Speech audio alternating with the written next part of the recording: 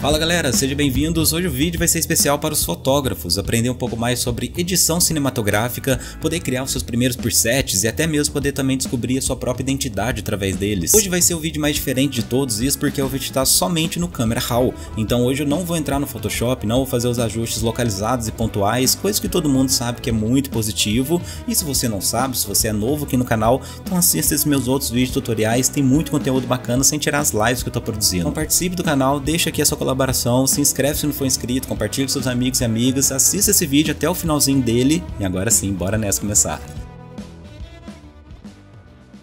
Já estou aqui com a imagem aberta no Camera Raw, vou trabalhar por cima dessa fotografia, porém eu tenho também aqui algumas referências salvas, porque ficaria muito vago né, eu falar que faria uma edição cinematográfica, sendo que existem milhares de formas de fazer isso. Porém, diante de tanta possibilidade de fazer essa mesma edição, eu também consigo observar algumas igualdades entre elas. Então a primeira coisa que eu consigo observar são os contrastes um pouco mais lavados, as áreas de pretos e brancos um pouco mais cinzas, tirando essas últimas imagens aqui no canto, que elas sim possuem um contraste um pouquinho mais elevado do que as outras, mas no restante eu consigo observar que eu tenho um pouquinho mais de igualdade entre as áreas de sombras e as áreas de luzes. E quando eu trabalho o contraste, principalmente quando eu reduzo ele, eu também perco um pouco de saturação, que é a segunda coisa que eu consigo observar de igualdade nas imagens. Então podemos observar que temos uma ou duas cores base presentes nessas imagens nas áreas de luzes e nas áreas de sombras. Aqui nessa primeira seria o cian, na segunda o magenta, aqui o amarelo mais próximo do verde e a quarta o azul. Então feita essa leitura, agora fica muito mais fácil de transmitir todos esses ajustes agora para mim em fotografia. Então já volto para o Camera Raw e agora eu consigo fazer os primeiros ajustes que vai ser o de contraste, de volume. Então vou descer um pouco o meu exposure,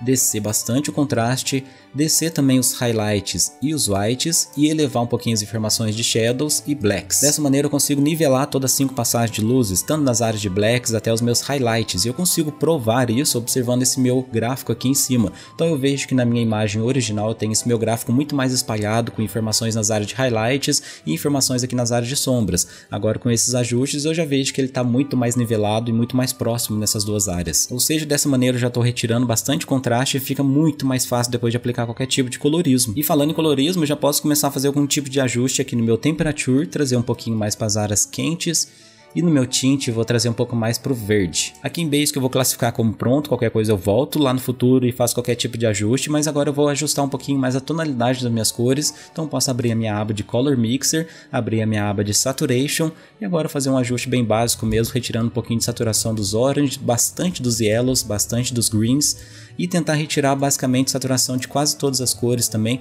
para deixar minha foto cada vez um pouco mais neutra. Aqui eu poderia também ajustar um pouco meu luminance e meu hue, mas nesse caso eu acho que eu não preciso ajustar mais nada aqui, somente o saturation mesmo e eu já posso passar para a minha próxima aba que vai ser justamente o split toning. Aqui é bem livre mesmo, eu quero que você estude e pratique até encontrar melhor tonalidade na sua fotografia, mas nesse meu caso aqui nas áreas de highlights eu vou colocar uma cor mais próximo do verde e aqui elevar o meu saturation como valor 24, perfeito. Agora eu já consigo preencher essa minha cor desse lado direito da minha modelo. E nas áreas de shadows eu vou colocar uma cor mais próxima do magenta e um saturation um pouquinho mais baixo só para preencher essas áreas de sombras da minha imagem. Aqui já ficou perfeito, eu posso fechar minha aba de split tone e eu vou fazer agora o meu penúltimo ajuste que vai ser aqui na minha aba de curves. E aqui eu vou criar aquela leitura mais suave das áreas de sombra e luzes através do efeito mate. Se você não sabe criar o efeito mate é muito simples, basta elevar suas áreas de blacks você vai criar um outro ponto aqui nas áreas de Shadows e descer um pouquinho mais próximo do centro.